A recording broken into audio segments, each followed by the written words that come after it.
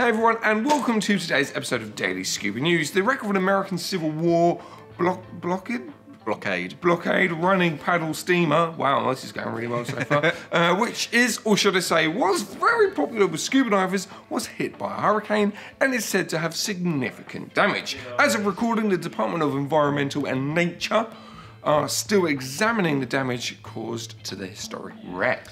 So the site of the Montana is so popular due to the fact that it's in really shallow waters. I mean, the deepest part of the shipwreck lays at about 12 meters.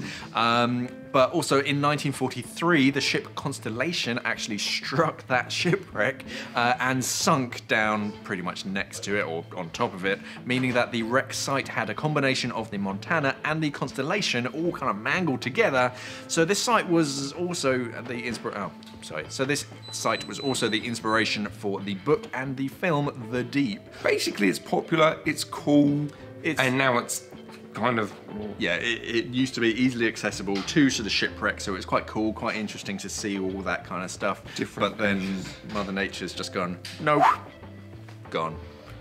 Anyway, cross Gauntlet, if that's your real surname, that is awesome. Who runs Blue Water Divers and Water Sports, uh, who also chairs the bl- bl- uh, uh, Bermudas. Blum- yeah, that word, uh, Historic Wrecks Authority has said that the dive site looks like a bomb has hit it, um, and the site has been left looking very different from what it used to look like. Well, yeah, that generally tends to happen. Yeah. Anyway, the site was dived several times a week there, and, and there was even a glass bottom boat tours in the hmm. area as well. So yeah, it really was a tourist trap. Yeah. Um, but unfortunately, as of recording, uh, like Shaun said, they are still trying to figure out what the true damage will be. Um, it actually looks like the site will never be the same again, which is a shame. Um, but yeah, that's the nature of the beast. It's just it's a hurricane. It's, it was a shallow shipwreck and just boom, gone. Boom, gone. Um, but anyway, what do you think about this story? Have you ever dived the Montana stroke constellation? Uh, do you think that they can finally salvage the site? Will it be diveable? I, I reckon it'll be diveable. It's just that now, like, I don't think they should. They, they Strewn. maybe the, Going to be a longer dive. they're gonna have to put some other bits down there, maybe some statues and sink some other bits. If it's that of a tourist trap, Just, just put another ship. just get another ship to streak it. Oh no! What? How did that happen? Oh well, do you wanna go diving?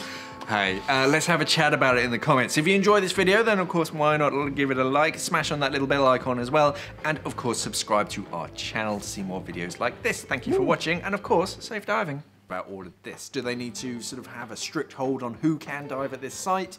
Um, do you think that they'd let um, we, we call it teabag diving because you just kind of like dunk them in the water and then sort of get them back out, and you never actually let go of the student? Okay. That's a nice little insight into, uh, into training. diving. Teabagging. Not that kind of debagging though.